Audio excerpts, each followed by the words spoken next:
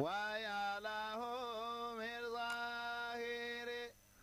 تتزاد مواسم بنور بدر ظاهر. شهر رفيع القدر في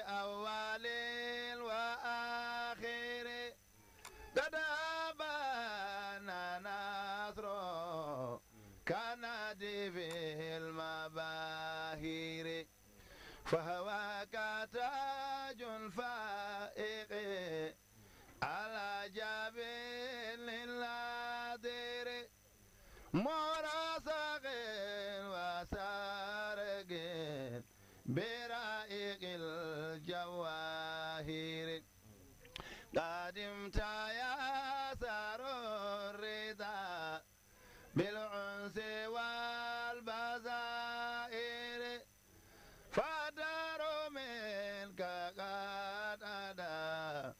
في كل طرف نادر. بمولد المبارك وفى به ابن الطاهر. يا المشارك في ذا الجمال باهر. وصل يا رب العباد. À ce jour, le Sénégal compte 114 256 cas déclarés positifs, dont 72 261 guéris, 1890 décès et 104 patients sous traitement. Par ailleurs, depuis le début de la campagne de vaccination, 1 346 771 personnes se sont vaccinées sur l'étendue du territoire. Le secrétaire général du ministère de la Santé et de l'Action sociale, Alassane Mbeng, a présidé ce, vendre- ce 23 décembre la seconde réunion du comité interne de, suivi au titre de l'année 2021 du programme national de développement sanitaire et social. La dite réunion organisée dans le cadre de l'évaluation de la mise en œuvre de ce plan pour la période 2019-2028, en collectivité territoriale, société civile, secteur privé, etc. Cette réunion a regroupé tous les acteurs sanitaires pour une résilience du secteur à travers des missions de terrain dans les régions de Matam et de Kafrine. Le ministère de la Santé a fait le point sur les thèmes euh, relatifs à la maintenance des infrastructures et de l'équipement et aussi l'exécution de la politique d'hygiène dans le secteur de la santé.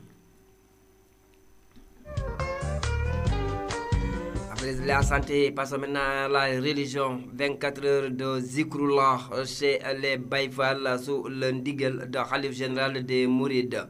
Touba connaît depuis des heures une effervescence assez singulière avec une influence monstre des Baïfal dans les zones stratégiques de la cité religieuse.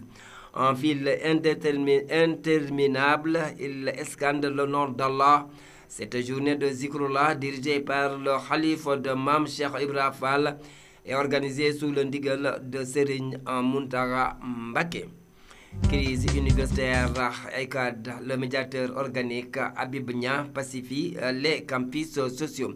L'ambassadeur et parrain des étudiants poursuit sa tournée suite au mouvement d'humeur dans les universités.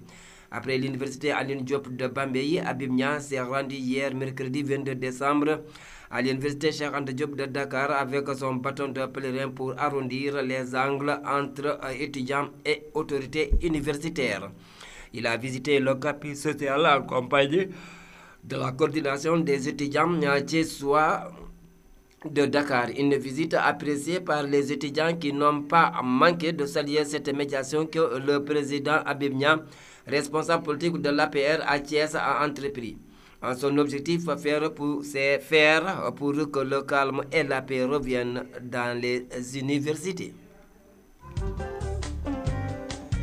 L'information continue sur les zones de Cascas FM. Je disais dans les titres, en raison des retards souvent constatés dans le paiement des bourses de sécurité sociale, l'inspection générale d'État est en train d'enquêter depuis quelques jours sur les dépenses effectuées aux bourses de sécurité sociale. En effet, malgré les fonds décaissés, il est récurrent que le paiement de ces bourses destinées à soulager certains ménages défavorisés enregistre des retards.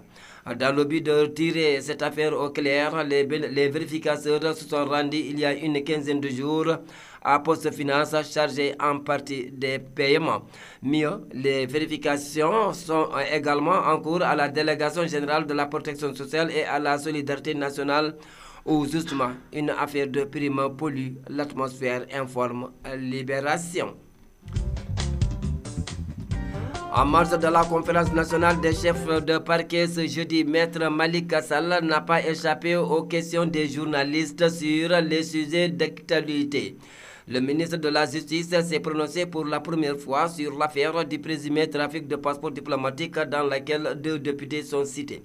Le garde des Sceaux estime qu'à l'étape de l'enquête, la justice ne fait que traiter des cas semblables de façon identique. Les dossiers seront traités correctement et de la même façon.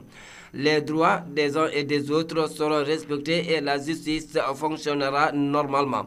Tout le monde sera traité de la même façon, a dit le ministre de la Justice. Suite à la série de cambriolages notés à Hambourg durant mois, les mois de novembre et décembre, deux membres actifs de la bande de malfaiteurs ont été interpellés par, le commissariat central d'Hambourg et déférés. Il s'agit des nommés M. Diallo et B. Fall, les deux cerveaux de la bande qui étaient en fuite depuis lors. Leur euh, modus operandi consistait à cibler des maisons pour y pénétrer tardivement la nuit, les cambrioler, euh, les et violer les femmes présentes. Un viol sur une jeune dame euh, au, quartier, Sonatel a été évité de justesse durant leur forfait. D'ailleurs, depuis l'arrestation de ces bandits de première catégorie, les victimes ne cessent de défiler au commissariat central. Euh, ils ont été déférés pour association de malfaiteurs, vol commis à la nuit avec usage de moyens de transport, détention d'armes blanches et tentative de viol. Nous venons maintenant à la page internationale. L'actualité internationale. L'actualité internationale. L'actualité internationale. 20h passé de 38 minutes, nous accueillons sur ce plateau Adama Kébé. Adama, bonsoir. Bonsoir euh, Demba. Actuel Demba, on va commencer par la Mauritanie. Bien sûr, en Mauritanie, les activistes du mouvement 4 août détenus depuis le 7 décembre dernier à la maison d'arrêt de Rosso ont débuté ce mardi une greffe de la faim illimitée. Ils protestent contre les mauvaises conditions de détention. Selon une source ayant contacté RMI Info pour alerter les activistes attendent à travers ce geste dénoncer la privation de leurs droits. La même source ajoute que la direction pénitentiaire ne leur assure pas une alimentation convenable. Toujours en Mauritanie, Demba, le président de la coalition Vive Ensemble, Dr Khan Hamidou Baba, a été évacué hier soir à Las Palmas en Espagne à bord d'un avion médicalisé venu spécialement des îles de Canaries. Dr Khan était sous traitement à l'hôpital militaire de Nosot depuis son accident le, le, samedi 11 décembre dernier alors qu'il rentrait de Oudan avec les membres de sa délégation qui venaient assister au festival des cités du patrimoine. En Guinée, Demba, l'évacuation d'urgence du palais du complexe présidentiel du palais Mohamed V de Guinée a suscité beaucoup d'interrogations, notamment sur l'état de santé du président dessus, Alpha Condé. D'après certaines rumeurs en Guinée, un avion médicalisé aurait décollé dans la nuit du mardi 21 décembre 2021 à l'aéroport de Conakry, des rumeurs que les responsables de l'aéroport n'ont pas confirmées. Au Madagascar, le navire naufragé qui n'était pas autorisé à transporter des passagers n'en avait embarqué 138 lundi matin. Seulement 50 d'entre eux ont été sauvés. Le bilan du drame s'alourdit de jour en jour. Le naufrage d'un bateau de transport de marchandises au nord-est de Madagascar lundi a fait au moins 85 morts, a pris de France Presse auprès des autorités militaires et des gendarmes jeudi 23 décembre. 21 corps ont été retrouvés mercredi. Merci. Nous pour la page sport.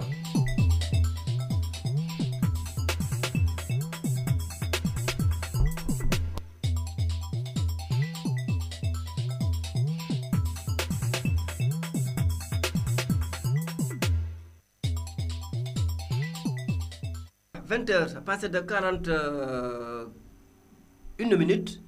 La page Esport toujours avec Adama. Adama.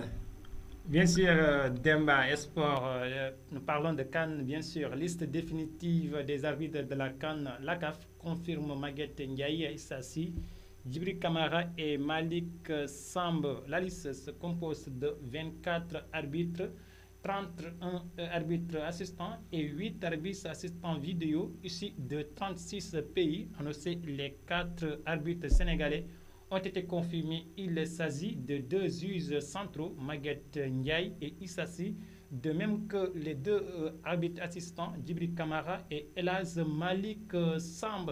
Toujours à Cannes, la Mauritanie publie une playlist de 30 jours avec euh, Pape Ibouba et Suleimani Doukara. Le premier nommé, l'attaquant du Havre, Pape Ibouba, euh, âgé de 28 ans, il a évolué dans le championnat local sénégalais où il a été formé à Stade de Dombourg, puis à Linger.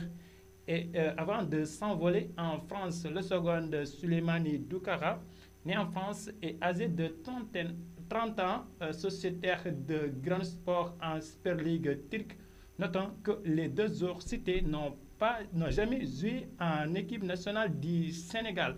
Parlons aussi de l'équipe nationale euh, du Sénégal. C'est demain, vendredi, à partir de 10h, que le sélectionneur Aliou Cissé va dévoiler les noms des joueurs retenus pour la Cannes 2021. Une liste qui finalement sera arrêtée à 27 lions dont 7 réservistes. Autrement dit, il s'agira d'une sélection de 23 jours et 4 réservistes de noms qu'il faudra déposer, des noms qu'il faudra déposer auprès de la CAF avant le 31 décembre 2021.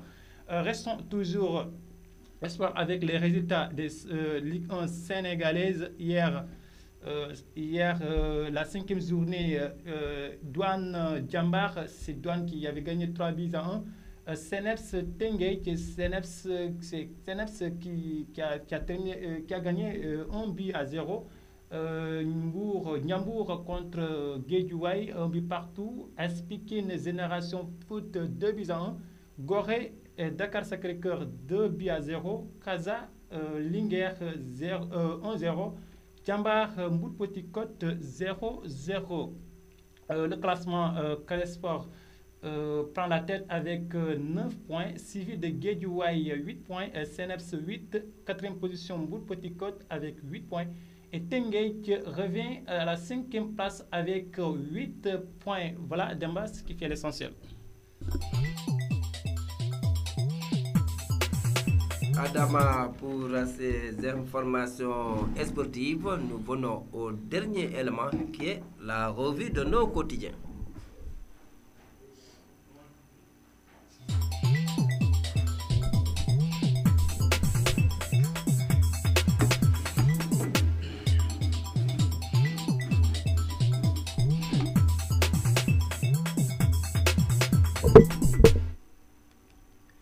Merci Yawa. 20h passé de 44 minutes, la revue de presse. On est toujours avec Mamadou Marcy. Bonsoir.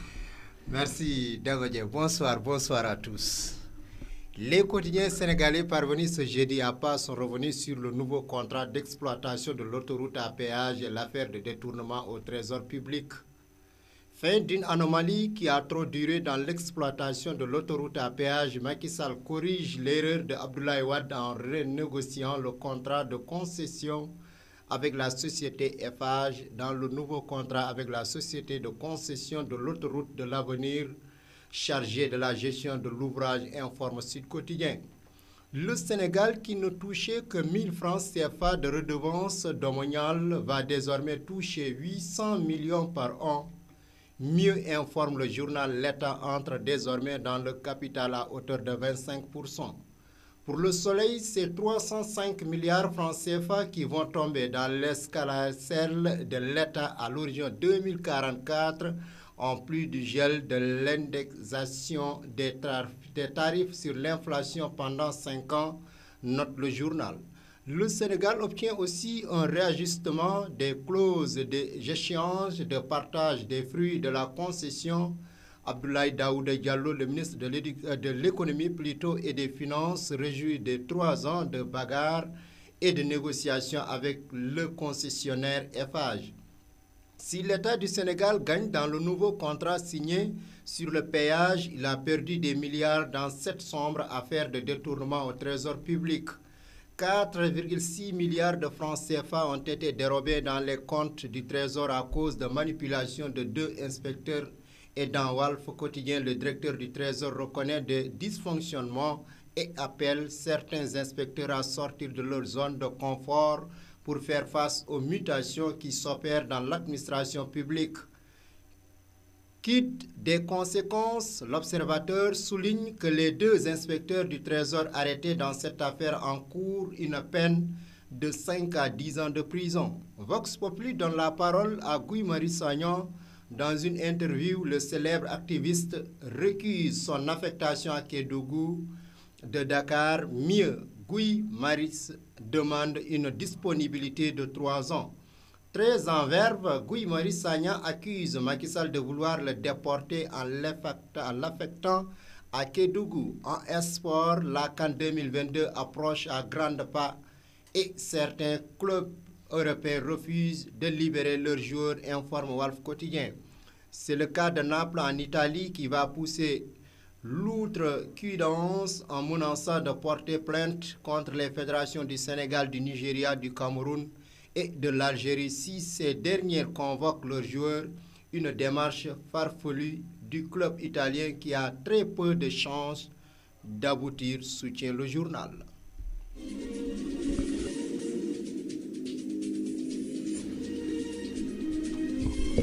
Merci Mamadou Oumarsi pour la revue de nos quotidiens et qui met fin aussi à cette édition dont je vous rappelle l'essentiel des titres.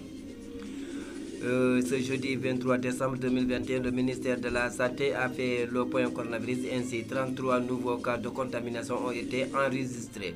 En raison des retards souvent constatés dans le paiement des bourses de sécurité sociale, l'inspection générale d'État est en train d'enquêter euh, depuis quelques jours sur les dépenses effectuées aux bourses de sécurité sociale. Suite à la série de cambriolages notés en bourg durant le les mois de novembre et décembre, deux membres actifs de la bande de malfaiteurs ont été interpellés par le commissariat central de Mbour et déférés. International en Mauritanie, les activistes du mouvement 4 août détenus depuis le 7 décembre dernier à la maison d'arrêt de Rosso ont débuté ce mardi une grève de la faim illimitée. Ils protestent contre les mauvaises conditions de détention. Madagascar, ce navire naufragé qui n'était pas autorisé à transporter des passagers en avait embarqué 138 lundi matin. Seulement 50 d'entre eux ont été sauvés. Le sport et la revue ont fermé cette édition. Merci à Mamadou Marci pour la revue de nos quotidiens. Merci aussi à Adama Kebe pour les informations internationales, réalisation, présentation d'Embadja à la cabine technique. C'est Hawa Ndiaye qui l'a à 21h. Ce sera le grand journal à Poula. D'ici portez-vous bien.